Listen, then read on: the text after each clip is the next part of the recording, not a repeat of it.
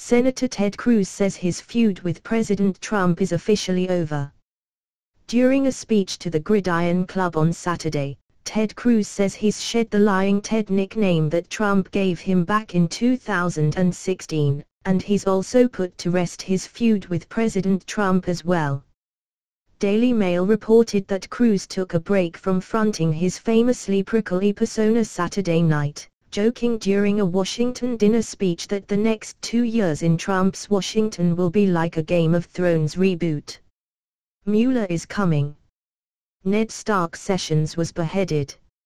And Trump finally builds a wall to keep the wildlings out and the White Walkers actually pay for it he said during a jesting speech at the Gridiron Club's annual winter dinner in Washington, D.C.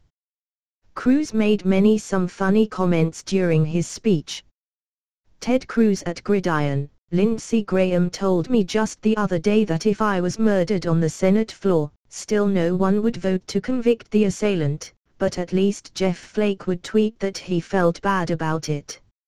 https colon double forward slash t.co forward slash stift 5 Teddy Schleifer, at Teddy Schleifer, the 2nd of December 2018 some folks on social media were more distracted by the beard Ted Cruz is growing. Hashtag Cruz with facial hair, but it's not a beard. Hash weird hash helpmanzy at pic.twitter.com forward slash 9w9s civic 1. Read more. 69665.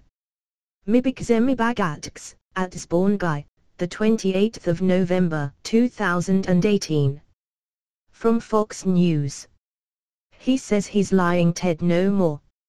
Sen. Ted Cruz, our Texas, declared